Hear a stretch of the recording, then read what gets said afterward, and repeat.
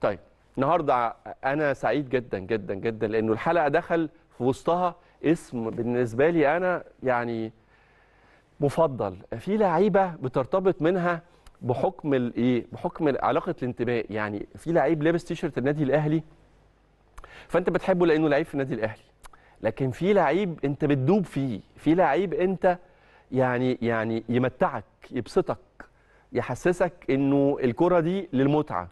أسماء كتير جدا جت في النادي الأهلي ويمكن أسباب كانت سبب في يوم من الأيام أنا شخصيا إن أنا أحب الكورة وأشجع النادي الأهلي منهم على سبيل المثال كابتن محمود الخطيب منهم على سبيل المثال كابتن مصطفى عبده يعني وغيرهم مش عايز أقول طبعا الأهلي فيه عمالقة كتير جدا لكن في لعيبة أنت بتحبها وبترتبط بيها يعني وبتفضل المكانة دي في قلبك سنين طويلة جدا حتى بعد ما يسيبوا الملعب من ضمنهم حسام غالي.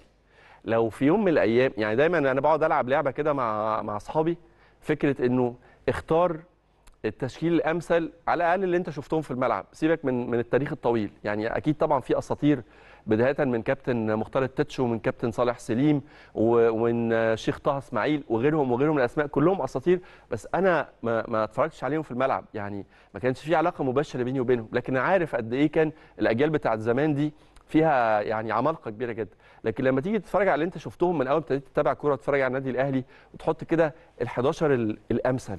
يعني اختار ال11 اللي هم النموذج ال11 اللي يعملوا أقوى تشكيلة للنادي الأهلي في, في, في من وجهة نظرك.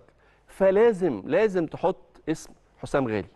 حسام غالي مش بس لعيب كورة موهوب ومش بس قصة نجاح في الأهلي وبره الأهلي واحد من أنجح قصص اللاعبين اللي احترفوا في الخارج لعب في هولندا ولعب في إنجلترا.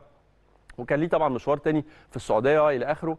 لكن كمان في عنده الروح بتاعت النادي الأهلي لعيب قائد جوه الملعب. حسام غالي بيحتفل بعيد ميلاده وإحنا كمان في السادسة بنحتفل بنحتفل معاه وبنفكره الحقيقة بمشوار طويل ورحلة طويلة جدا من العطاء اللي قضاها وما زالت مستمرة طبعا داخل جدران القلعة الحمراء النادي الأهلي.